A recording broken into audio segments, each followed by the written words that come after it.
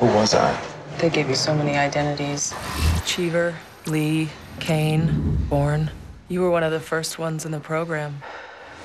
Joan Allen returns to the number one film Bourne Ultimatum, reprising her role as CIA Chief Pamela Landy.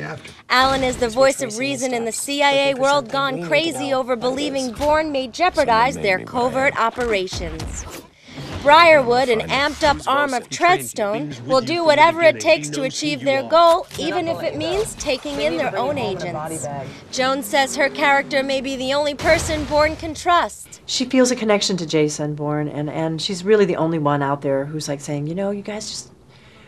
He's one of our own. He's an agent.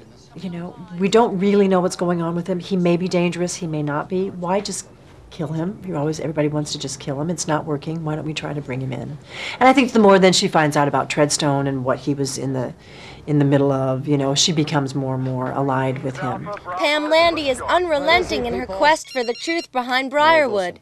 After speaking with several CIA agents for the role, Joan is convinced she couldn't pull off the job in real life. I could not be a spy for the United States of America. I talked to some real spies before I did this, and, and when they these women explained some of the situations that they had been in, um, one woman's career 30 years in the CIA. I was like,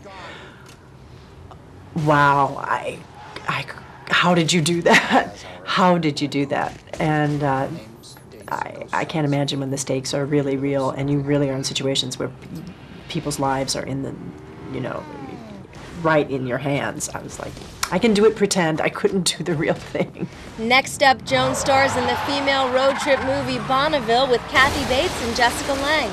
The Bourne Ultimatum is currently playing in theaters. Listen very carefully to what I'm about to tell you. I remember. I remember everything.